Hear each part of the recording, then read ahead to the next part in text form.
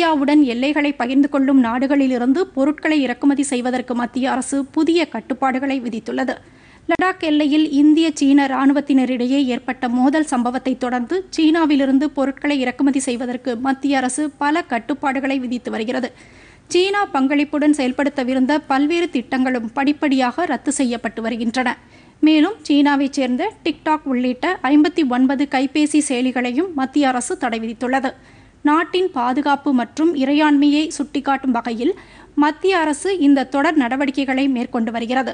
இந்நிலையில் இந்தியாவுடன் எல்லைகளை பகிர்ந்து கொள்ளும் நாடுகளுக்கான பொது கொள்முதல் தொடர்பான விதிமுறைகளில் மத்திய அரசு புதிய கட்டுப்பாடுகளை விதித்துள்ளது.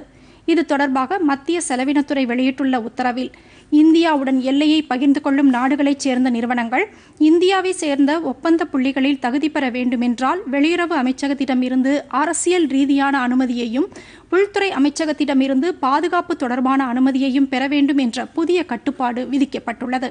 இது பொருட்கள் அல்லது சேவைகள் மற்றும் பொருட்கள் தயாரிப்புக்கு பொருந்தும் என அறிவிக்கப்பட்டுள்ளது.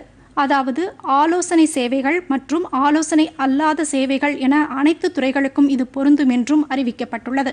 இருப்பினும் டிசம்பர் முப்பத்தி ஒன்றாம் தேதி வரை மருத்துவ பொருட்கள் வாங்குவதற்கு மட்டும் சிலவற்றில் விதிவிலக்குகள் அளிக்கப்பட்டுள்ளன.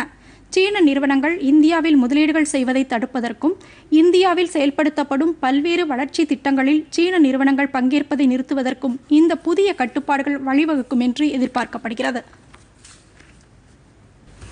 பொதிகை செய்திகளை யூடியூபில் தமிழ் நியூஸ் தூர்தர்ஷன் என்ற சேனலிலும் முகநூலில் டிடி பொதிகை நியூஸ் என்ற பக்கத்திலும் ட்விட்டரில் டிடி நியூஸ் சென்னை என்ற பக்கத்திலும் இன்ஸ்டாகிராமில் டிடி பொதிகை நியூஸ் என்ற பக்கத்திலும் காணலாம்.